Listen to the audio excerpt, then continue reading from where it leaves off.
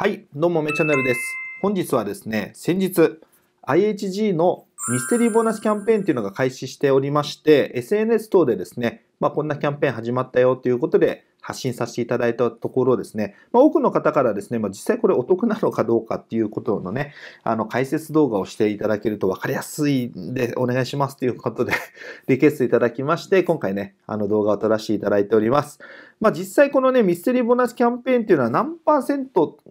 が上限、何パーセントか下限っていうのがちょっと私もね、把握はね、できてない状況ではありますけど、私は100%ボーナスキャンペーンっていうのを獲得できておりまして、コメントなんかでね、いただいたところ80%でしたっていう方もいらっしゃるので、まあ80%と100%っていうことでね、まあ今回ちょっと試算してみて、えー結論から申し上げてしまうと80%の方でもお得はお得でした。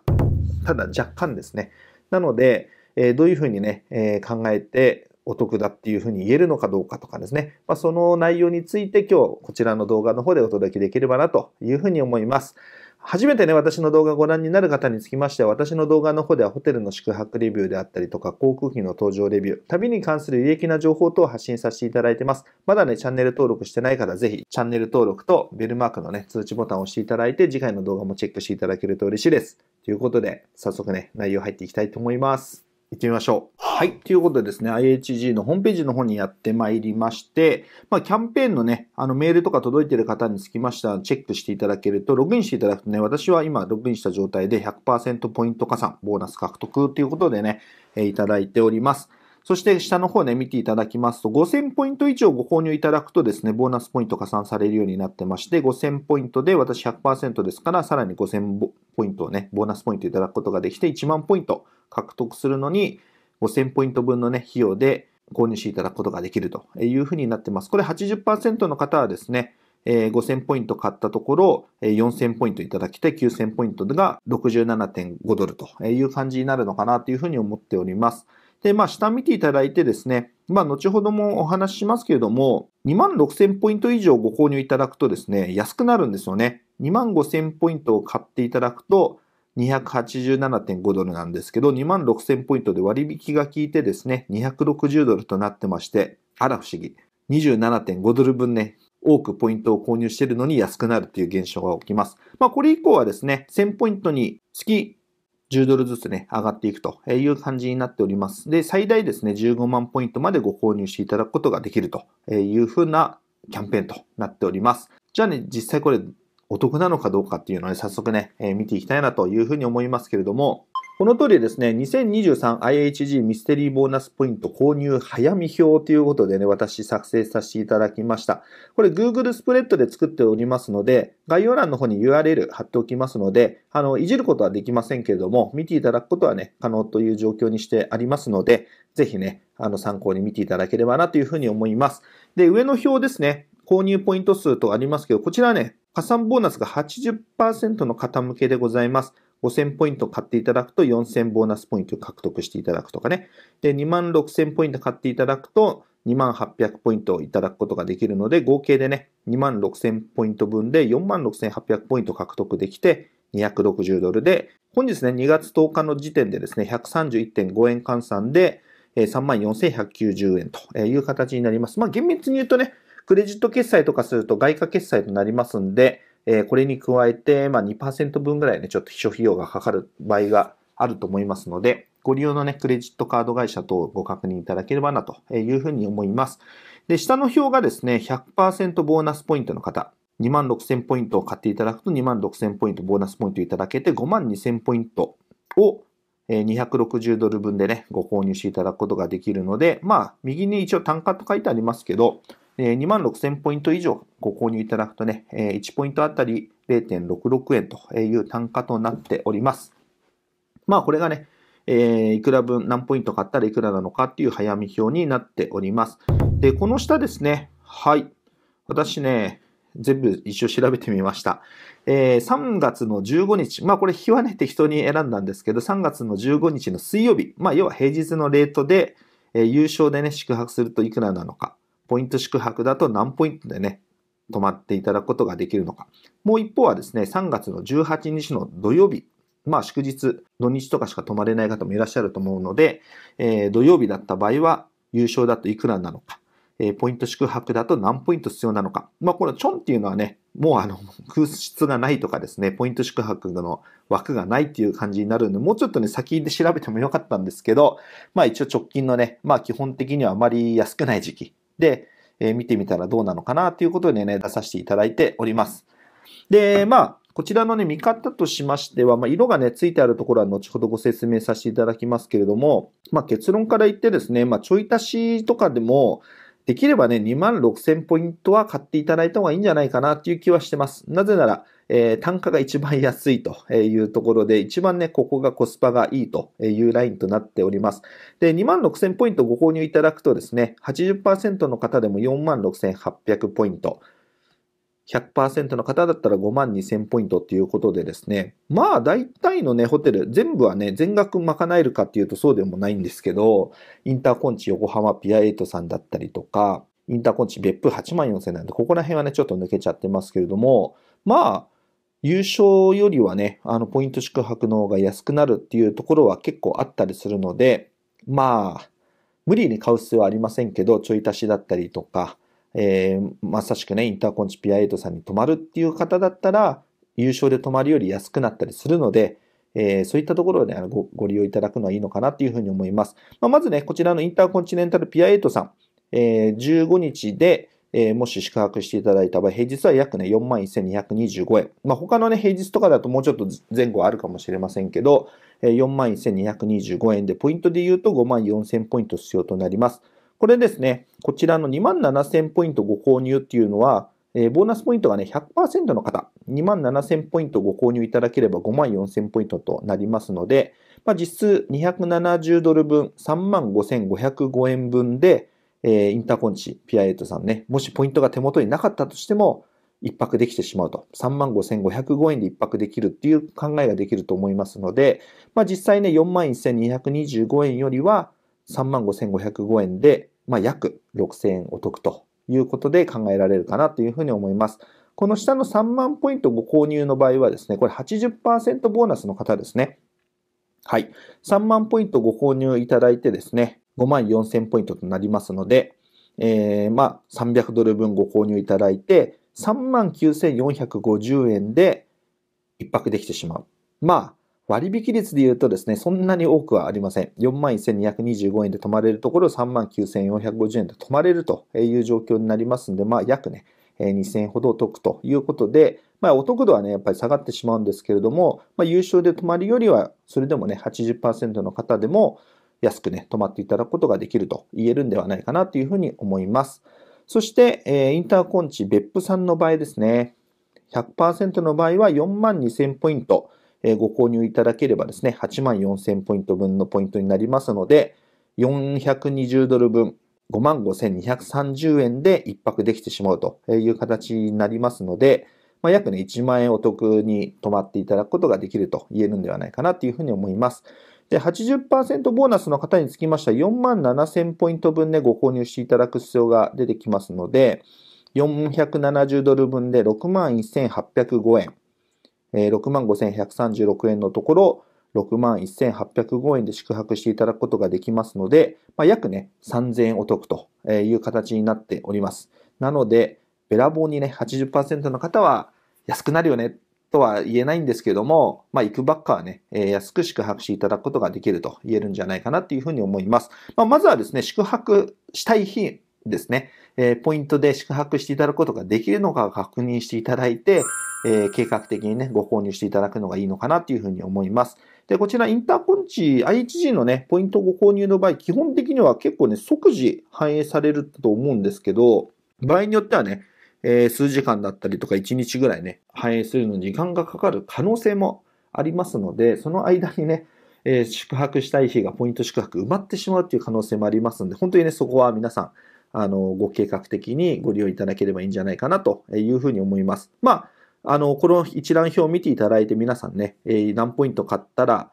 えー、いくら分でいくらお得なのかっていうのにね、使っていただければいいんじゃないかなっていうふうに思いまして、この表をね、作成させていただきました。で、私、まあ、個人的にはですね、このインターコンチピア8さんだったりとか、まあ、別府さんだったりとか、まあ、その他のホテルでも、まあ、同様な考え方ね、インターコンチ大阪さんだったりとか、まあ、同様な考え方で、何ポイント分買ったら実質いくらなのか。えー、で、実際に優勝で止まった場合いくらなのか。ってことは差し引きいくらで、えー、いくらお得だよねっていうことで、まあ基本的には考えるんですけど、私、個人的におすすめというか、私が個人的にやりたいかなっていうふうに思ってるのは、この別でね、色をつけたところ、これ、ホリデインススキノさんであったりとか、あ、こちらね、アッピ高原さんじゃないですね。なんでアッピ高原に色がついてるんだろう。えっ、ー、と、ホリデインの金沢の方ですね。失礼しました。今ね、この動画の状態で直しておきますね。えー、こちらのホリデインススキノさん。で、ホリデイン金沢さんの場合は3月15日はね、残念なことにポイント宿泊がえ埋まってしまってたんですけど、えー、他の日とかだとね、こちらも9000ポイントで1泊していただくことがね、できる、え、ホテルとなってます。まあ多少ね、ちょっと土曜日とかだったら1万1000とか、ちょっと増えたりはするんですけど、まあ基本的に、え、9000ポイントで、まあ最下限値って言っていいんでしょうかね、ここら辺だと。もうちょっと探したらひょっとするとね、あの、加減値っていうのはあるのかもしれないですけど、えー、ホリデイン金沢さんとか、ホリデインススキノさん9000ポイントで1泊していただくことができるということで、ですので、こちらね、どういうふうに活用するかっていうとですね、これマイルストーンボーナス、えー、20泊以上でね、10泊おきに、えー、していただくことによって特典を受けていただくことができるんですけど、まあ私個人的に狙うのは40泊。年間のね、クラブラウンジアクセスが獲得していただくことができるのが40泊という形になってまいります。なので40泊ね、こちら6980円で泊まった場合、こちらの方がお得っていう可能性もあるんですけど、9000ポイントで、まあ、例えば5泊していただくと単純にね、4万5000ポイント必要になるわけですよね。で、100%の場合だと、2万6000ポイントをご購入いただければ260ドル分で約3万4190円で5泊できてしまうっていうね、えー、考えができますので、まあこれがね、6980円で同じだったらほぼ同じぐらいなんですけど、まあでも日によってはですね、ポイント宿泊の方がお得だったりとかする日もあるのかなというふうに思いますので、まあシンプルにね、5泊、えー、3万4000円ぐらいで5泊できるっていうのはまあ結構安いんじゃないかな、お得なんじゃないかなっていうふうに思います。思いました。まあ、ただね、あの、すすきのさんみたいに6980円だったらこっちの方が変わんないよねっていう考え方もできますので、その場合はですね、こちらの優勝でね、宿泊していただくことによって、他のキャンペーンでですね、2泊していただくことに2000ポイントいただくキャンペーンだったりもありますから、えそれはね、ポイント宿泊だったりとか、ポイントキャッシュは対象外となってますので、優勝で泊まった方がいい場合もあります。はい。そこはちょっと頭ね、複雑になっちゃって申し訳ないんですけど、場合もありますんで、ちょっとそこら辺はね、えー、鑑みていただいて、えー、ご計画的にご利用いただければいいと思います。まあ、そこちょっとね、これ3月15日のホリデインススキノさんが比較的安めなのでね、えー、ホリデイン金沢で7675円だったら多分9000ポイントの方がお得なんですよ。はい。明確にね、お得なって言えると思いますので、まあ、シンプルに言えばですね、この9000ポイントで、理論上は5泊していただくことができれば、これを8セットしていただくことによって、そう簡単じゃないですけどね、8セットしていただくことによって、40泊達成していただくことができますので、およそね、28万円ぐらいはかかるんですけど、あのー、宿泊ね、していただくことができるということでございます。まあ、ただね、考え方によっては本当に今申し上げた通り、ホリデインススキノさんでこの7000円切る価格でね、予約が取れるんであれば、こっちで予約を取って、えポイント貯まったポイントで、ね、かつ、えポイント資格も組み合わせたら、もっとね、手出しが少なく40泊達成することができるっていう考えもね、できるんじゃないかなというふうに思いますので、皆さんなんかね、いや、こっちの方がお得だよとかっていうのがあれば、ぜひコメント欄から教えていただければ嬉しいです。で、え、まあ簡単な要点ということでですね、ポイントをね、まとめてみましたけど、ポイント宿泊の場合でもですね、まあ、基本的に前日の18時まではペナルティなくね、キャンセル料取られることなくキャンセル可能ですので、まあ、比較的ね、あの、使いやすいのかなというふうに思います。そして、ポイント利用の無料宿泊の場合であっても、ステータスのね、宿泊実績、今申し上げたマイルストーン修行に関しましても、宿泊実績っていうのは加算されますので、ポイント宿泊をうまく利用していただくのがえやっぱりお得に泊まっていただくね、えポイントにもなるのかなっていうふうに思います。そしてポイント利用の無料宿泊の際でも、当然今ね、あの、プラチナステータス、プラチナエリートであったりとか、ダイヤモンドエリートをお持ちの方であれば、え保有ステータスの特典を受けていただくことがね、えできるということでございます。まあ、ただね、あの、まあ、ちょっと、あの、複雑な話になっちゃうかもしれませんけど、マイルストンボーナスでですね、獲得したスイート保証券みたいなのがいただけることができるんですけど、これはね、あの、優勝ベストフレックス料金じゃないと対象にならなかったりするので、まあ、全てがね、使えるってわけではないんですけども、まあ、そういったね、例外的に使えないものもありますけど、基本的には使えますと。そして、まあ、当然ですね、ポイント利用で宿泊した場合は、宿泊時のポイント加算、ポイントいただくことはね、ありませんということですね。で、IHG のポイントにつきましては、ご購入していただいてですね、まあ、1年間はね、有効期間がありますけれども、あの、全くね、止まったり、使ったりとか、あの、獲得するっていう変動がないと1年で終わってしまいますけど、そういった動きがあってから基本的に1年なので、ほぼほぼね、えー、無期限という形で考えていただいていいんじゃないかなというふうに思います。まあ、こんな感じのね、考え方で、お得かどうかっていうのは見出していただければいいんじゃないかなというふうに思います。で、この一覧につきましてはですね、今は基本的に国内で出してますけど、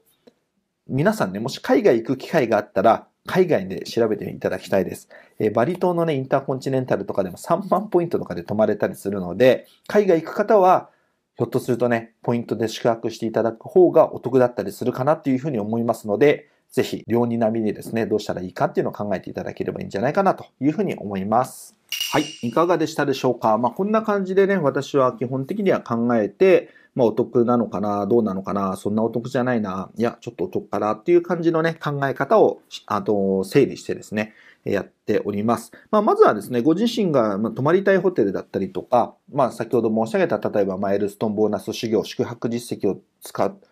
宿泊実績を獲得したいっていう目的でですね、泊まった場合にお得なのかどうかとか、まあそういったね、ご自身の目的別にですね、えどう利用したらお得なのかっていう感じでね、考えていただくのがいいんじゃないかなっていうふうに思います。まあシンプルにですね、まあそういったややこしい話じゃなく、一番最初に申し上げたですね、泊まりたいホテルで、え優勝だったらいくら、ポイントをこれ買ったらいくらで、まあ差額、こっちの方がお得だよねっていう考え方がね、一番シンプルかなというふうに思いますし、えー、海外ね、あの、これから行こうかなって考えている方は、ぜひね、海外の方のホテルでも、えー、何ポイントでね、どういったホテル泊まれるのかって見ていただくと、ますますね、テンション上がってくると思いますので、ぜひね、検索してみていただいて、あの、テンション高めていただいて、計画的にね、よりお得に宿泊していただければなというふうに思います。まあ、あとね、申し上げた通り、皆さんの考え方だったりとか、いや、こっちの方がお得だよとかね、こういうふうに使ったらもっとね、あの、有効活用できるよっていうのがもしあれば、ぜひね、皆さんの共有のためにもコメントいただけると嬉しいです。はい。